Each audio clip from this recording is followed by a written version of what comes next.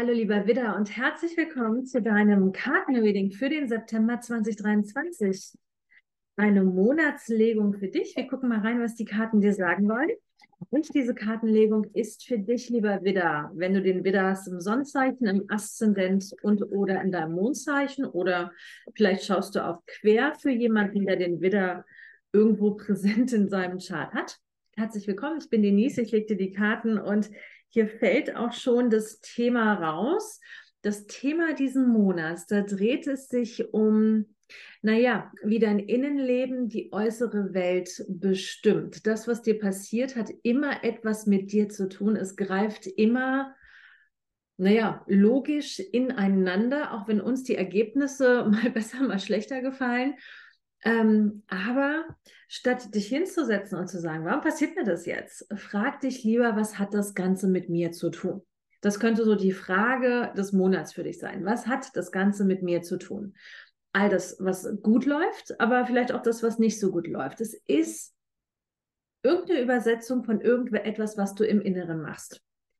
So, klingt jetzt vielleicht ein bisschen kryptisch, aber wir gucken mal ins Tarot und äh, mal, ob wir das hier ein bisschen klarer hinbekommen. Ich mache die Kamera schon mal runter. So. So. Und dann mischen wir jetzt nochmal unsere Karten und dann gucken wir mal, was wir Buch für den Widder haben im September 2023.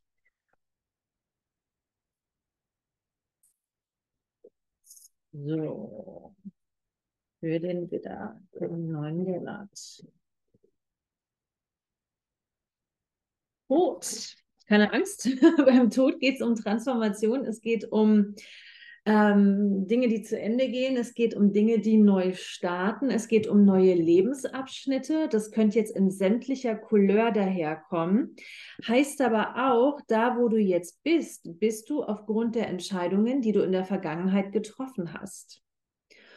Und diese Entscheidungen, diese Weggabelungen in deinem Leben haben dich auf den Weg geführt, für, ja, für den du dich entschieden hast und haben dich folgerichtig dahin gebracht, wo du jetzt stehst. Und offensichtlich ist da ja aus vielen Wahlmöglichkeiten jetzt mal wieder eine Wahlmöglichkeit da für einen neuen Lebensabschnitt. Was immer das für dich ist, das wirst du selber am besten wissen, womit du dich gerade am meisten auseinandersetzt. Und jetzt kann man natürlich sagen, ja, also weder mit den Karten noch mit irgendeiner anderen Methode können wir wirklich in die Zukunft schauen, wie was ausgeht. Aber wisse auch, egal welche Wahl du als nächstes triffst, welche Entscheidung du als nächstes triffst, du kannst dich nicht irren. Auch wenn wir nicht wissen, wie es ausgeht, wisse, alles dreht sich, ist ja krass, das ist ja mal wieder krass. Alles dreht sich aufgrund der Entscheidungen, die du getroffen hast in deinem Leben. Also im Grunde ist es wirklich egal, wie du was entscheidest. Es geht nur darum, dass du die Entscheidung triffst und dass du sie auf allen Ebenen trägst. Weil wenn du eine Entscheidung durchdrückst, Egal was es ist, es ist wirklich egal. Soll ich das oder das machen? Eigentlich ist es wurscht. Die Sache ist nur die, du solltest auf allen Körperebenen dahinter stehen. Du solltest diese Entscheidung zu 100 Prozent tragen können, auch wenn du nicht weißt, wie es ausgeht, aber dahinter stehen, weil sonst kannst du Gefahr laufen, dass du dir selber ein Schnippchen schlägst, was nicht so toll ist ähm, weil du mit einer Unsicherheit vorangehst und weil du dann vielleicht zwar sagst, okay, auch gegen den Rat von anderen, ich habe es gemacht, ich behaupte mich, mir ist wurscht, was die anderen mir sagen, ich ziehe das durch, das ist meine Entscheidung, ich mache das. Aber wenn du dann in eine Zweifel in Zweifel reinkommst, Zweifel, die andere dir erzählt haben, wo du denkst, hm, könnten die nicht doch recht haben, hm, hm, hm, mag ja alles sein, aber dann wird ja, wie so eine Speiche ins Rad des Schicksals reinkommen und es wird nicht so gut laufen, wie du es gerne hättest. Von daher, und die Karten hier drumherum, die sehen mega geil aus, ist hier wirklich der Rat in diesem Monat, was immer du entscheidest, steh zu 100 Prozent dahinter. Nicht nur ein bisschen, nicht nur, naja, aber okay, okay, ich mach's mal. Uh, uh, ja, steh dahinter. Vielleicht kennst du noch nicht alle Schritte des Weges, vielleicht weißt du noch nicht, wie bestimmte Sachen in den Erfolg geführt werden. Vielleicht ist dir noch ganz, ganz, ganz viel unklar. Es geht erstmal nur darum, die Entscheidung zu treffen und sie auch zu tragen. Ja, okay. Weil dir scheint schon länger der Sinn zu sein, nach einem Neustart, nach einem Neuanfang, nach ähm, einer Veränderung, die ja, vielleicht auch dich äh, erst nochmal in so, so, so, so eine Lebenssituation reinbringt, wo du denkst so, oh mein Gott, das ist echt neu und ich kenne mich damit nicht gut aus. Ich habe es vielleicht so oder so ähnlich schon öfter gemacht, aber es ist jetzt schon wieder neu. Und neu ist aufregend und toll und neu heißt aber auch, ich kenne mich in vielen Sachen noch nicht so aus. Ich muss mich da erstmal reinruckeln. Und dein Kopf weiß das auch. Ne? Wir haben ja die Karte, es ist noch kein Meister vom Himmel gefallen. Gut Ding will Weile haben. Man muss halt üben, üben, üben, dranbleiben. Vielleicht gibt es viel zu organisieren für das, was du vorhast. Oder man muss sich da erstmal reinfuchsen. Ne? Sagen wir mal, wenn jetzt ein neuer Job ansteht, ähm, dann na, oder ist ja wurscht was, aber sagen wir mal, wenn jetzt ein neuer Job ansteht und du wechselst ähm, von, der, von einer Firma an die nächste. Vielleicht ist dein Aufgabengebiet sehr, sehr ähnlich. Der Job ist nicht anders, aber alles drumherum ist anders. Da muss man sich erstmal dran gewöhnen, da muss man sich erstmal reinfuchsen. Ne? Oder vielleicht steht auch ein Umzug an und dann, ja, vielleicht bist du in deinem Leben schon mehr als einmal umgezogen. Also du weißt theoretisch, wie das geht, hast du schon mehrmals gemacht, aber da hängt halt auch viel mit dran, dieses Organisieren und Ummelden und Anmelden und wo ist der nächste Supermarkt, wo gehe ich denn jetzt zum Arzt, wo ist denn dieses, wo ist denn jenes ist. Also da ist halt immer so ein Rattenschwanz mit dran, das weißt du auch. Und du weißt aber auch, ich habe das schon mehrmals gemacht, ich kann das. Also dieses tiefe Vertrauen, das hast du. Und von daher noch einmal mehr und noch einmal wichtiger. Lass dich nicht in eine Zweifelschleife verführen in diesem Monat, aufgrund der Entscheidung, die du getroffen hast, nur weil andere Menschen Bedenken haben. Die müssen dein Leben ja nicht leben. Für dich fühlt sich alles ganz wunderbar, solange du auf allen inneren Ebenen klar ausgerichtet bist und klar hinter deiner Entscheidung stehst. Niemand anderes muss dich unterstützen, niemand anderes muss deine eigene Entscheidung tragen, aber du selber solltest es tun. In deinem Geiste, in deiner Emotionalität und in deinem körperlichen Ausrichten. Da geht es für mich lang. Auf allen Ebenen. Und dann geht das richtig, richtig fein für dich aus. Ähm, es wird ruckelig und doof, wenn du ins Zweifeln kommen solltest. Und natürlich sitzen wir auch mal da und sagen, ha, ich weiß jetzt gar nicht, wen ich fragen soll. Wer könnten sich jetzt damit auskennen? Diese Art von Zweifeln meine ich nicht, sondern ich meine diese urinnere Überzeugung von, wird schon, aber ich will das jetzt machen. Ich will das jetzt durchziehen. Ja.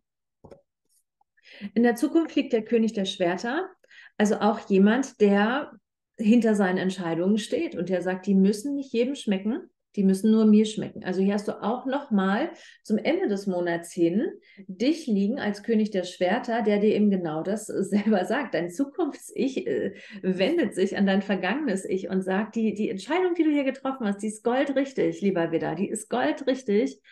Und ähm, selbst wenn du zweifeln solltest, wir, wir, lassen uns das nicht anmerken. Mm, mm, mm, mm wir wissen, wo wir hinwollen und wir folgen diesem Ziel stringent ganz stringent, in absoluter Klarheit und wir vertrauen darauf, es fühlt sich richtig an, es denkt sich richtig, also ist es auch richtig, wir machen das jetzt.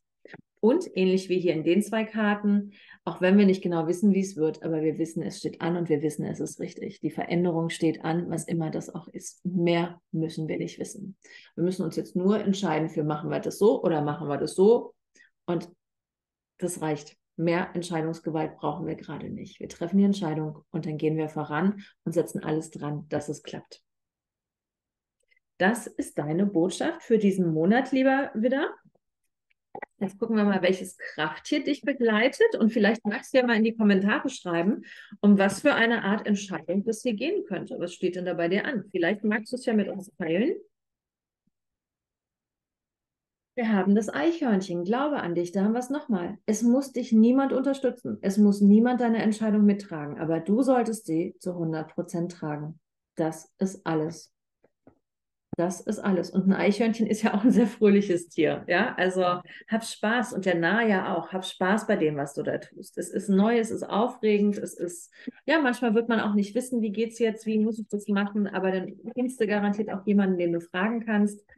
Aber hab Spaß bei diesem Abenteuer, das jetzt ansteht. Es sieht wirklich aus, als gehst du auf Abenteuerreise. Also genießt es auch und lass dich überraschen. Man kann nicht immer alles im Voraus planen. Geht gar nicht. Ja? Hier. Meine Produktivität kommt oder nährt sich aus meiner Inspiration, wenn ich mich auf das konzentriere oder fokussiere, was mir Freude bringt, dann werden alle Herausforderungen einfach ganz easy peasy. Ja, und das meine ich damit. Hab Spaß, hab Abenteuer, erleb was. Dann kannst du später tolle Geschichten erzählen. Und ich bin total in Verbundenheit mit dem Fluss des Lebens. Yay, was für dich jetzt ansteht, muss kein anderer verstehen. Hauptsache, du verstehst dich selbst lieber wieder. So, ich drücke mal kurz auf Pause, räume ab, damit wir dann nochmal in die einzelnen Wochen des Septembers für dich reinschauen können. Bis gleich. So, da bin ich wieder. Dann gucken wir uns mal an, was wir für dich noch in den einzelnen Wochen haben wieder. Übrigens, äh, wenn du das Kartenlegen selber erlernen möchtest, ich habe zwei Videokurse für dich. Einmal Kartenlegen mit Orakelkarten und einmal Kartenlegen mit Tarotkarten. Ich verlinke dir die hier am Ende des Videos beziehungsweise auch unten in der Infobox. Vielleicht hast du ja mal Lust für dich und für andere Karten zu legen, statt ähm, immer nur Videos zu gucken dann kannst du das mit meinen Kursen sehr, sehr gerne erlernen.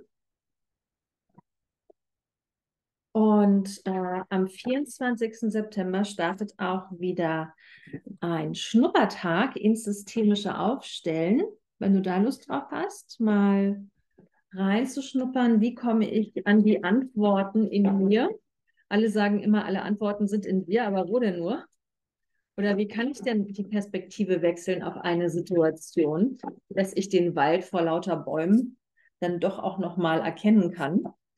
Äh, da zeige ich dir, wie das geht und dann probieren wir uns da so einen Tag lang miteinander aus. Danach kannst du für dich selbst, aber auch für andere schon kleinere Aufstellungen durchführen. Auch hier alle Infos unten in der Infobox.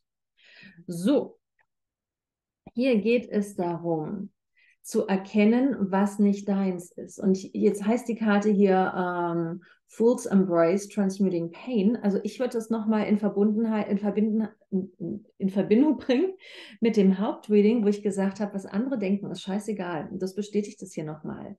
Pass auf, dass du dir nicht was auflädst, was nicht deins ist. Was andere denken über dich und dein Leben, geht dich nichts an. Was andere dir raten, schon gar nicht, wenn du sie um Rat gebeten hast, geht dich nichts an. Was andere dir versuchen einzureden, sind deren Beschränkungen und Begrenzungen, nicht deine. Bei dir geht es darum, zu dir zu stehen, zu deiner Entscheidung zu stehen und dein Ding durchzuziehen. Und dieses ähm, nimm dir nicht Energien, Gedanken und was auch immer, innere Zwänge von anderen an, das ist nicht deins. Lerne das eine vom anderen zu unterscheiden. Wenn du mal Lust hast auf ein Human Design Reading, guck mal auf meine Homepage in, in, unter meinen Shop. Dann ähm, können wir mal reinschauen, was bei dir so die, die Fallstricke sind, wo du dich schnell auf, ähm, auf was einlässt, was andere dir ja, einreden wollen, äh, was, wo da so die, die, die Fallstricke sind, dass dir das vielleicht ein bisschen klarer ist. Ähm, dann haben wir hier Verbundenheit. Wie schön ist das denn? Zweimal Verbundenheit. Wir haben einmal die seelenverwandte Karte, die Seelenpartnerschaft und wir haben aber auch hier dieses, ähm, dieses Netz, das sich spannt, diese Verbundenheit. Und wisse, wer dir guter Ratgeber ist, wisse auch, wer es nicht ist. Ja, also nimm nur das von Menschen an, die dir wirklich nahe sind. Der ein oder andere, vielleicht steht auch eine Liebe ins Haus oder eine tiefere Verbundenheit. Ja, ob du jetzt jemanden neu kennenlernst oder mit jemandem, mit dem du schon eng zusammen bist, ähm, da die nächsten Schritte anstehen. Das könnte auch sein. Ja, ist ja auch eine Veränderung im Leben. Ähm, es könnte aber auch einfach generell darum gehen, eben dieses Erkennen von, ähm, wer ist Teil meiner Seelenfamilie und wer ist es halt nicht mehr. Der September ist ja auch ein Monat ähm, zum Ausmisten, ja, so wie den Frühjahrsputz haben wir auch den Herbstputz, das steht im September an. Und ähm, da könntest du natürlich auch mal reinschauen, ja, wer darf noch weiter mit mir gehen und wer nicht. Also, ja, könnte jetzt so in alle Richtungen gehen, die zweite Woche. Woche Nummer drei. Es geht um Versöhnung und auch nochmal aussortieren. Also vielleicht auch mit Liebe gehen lassen. Auch hier kannst du nochmal schauen, wo geht es darum, wirklich hinzuschauen, wer ist es eben nicht mehr. wer nimmt sich heraus, um meine Energie reinfuschen zu dürfen, was ich nicht mehr in Ordnung finde. Und da muss man gar nicht irgendwie wild irgendwie um sich schlagen, aber eben doch sagen, okay, bestimmte Leute sind einfach nicht mehr Teil meines Weges. Also das scheint sich hier nochmal zu bestätigen, dass das so ein Thema für dich ist. Das haben wir jetzt mehr oder weniger hier dreimal nacheinander liegen. Also das scheint so ein Monat für dich zu sein dass wir unabhängig vom Hauptreading oder vielleicht auch in Kombination mit den Botschaften da hier nochmal ein weiteres Thema für dich haben. Und dann kommen aber auch Überraschungen zu dir am Ende des Monats. Überraschungen, die dir Kraft bringen, die dir Erleuchtung bringen, die dir Antworten bringen, die dich in deine Kraft bringen. Ähm, Botschaften, Überraschungen. Äh, vielleicht meldet sich auch jemand, ähm, der dir hilft, der dich unterstützt, der vielleicht, ja, kommt auch eine richtige Person auf einmal in dein Leben äh, wo du immer eine Frage hattest zum Thema XYZ und das löst sich jetzt darüber auf. Also halt mal die Augen und Ohren offen, was da Überraschendes nochmal sein könnte. Auf jeden Fall kriegst du hier einen richtigen Kraftschwung, Kraftboost aufgrund von etwas, was ähm, ja einfach zur rechten Zeit am rechten Ort ist oder du bist zur rechten Zeit am rechten Ort, um das ähm, erleben zu können oder annehmen zu können. Ja, lieber Willa, das war die Botschaft für dich im September. Ich danke dir fürs Einschalten. Bitte klick auf Gefällt mir, abonniere meinen Kanal, wenn du es nicht schon getan hast oder kommentiere auch. Und wenn es nur ein Herzchen ist, ein Smiley, aber mich interessiert natürlich auch, was für Veränderungen stehen da bei dir an. Das unterstützt mich hier ganz doll, ähm, um meinen Kanal weiter auf und auszubauen. Das ist für dich eine schöne Möglichkeit, um Danke zu sagen für meine Arbeit. Also auf Gefällt mir klicken, kommentieren, abonnieren. Ähm, wenn dir total gut gefällt, was ich hier auf YouTube mache, du findest auch unten in der Infobox einen Spendenlink zu meinem PayPal-Konto. Dann freue ich mich, wenn du mir ein Trinkgeld da lässt. Vielen Dank dafür. Vielen Dank auch an alle, die es schon getan haben. Ich freue mich riesig auch immer über eure lieben Nachrichten, die ihr mir dazu schreibt. Danke, danke, danke. Und dann wünsche ich dir einfach einen tollen weiteren Weg, lieber wieder, einen tollen September. Bis zum nächsten Mal, deine Denise.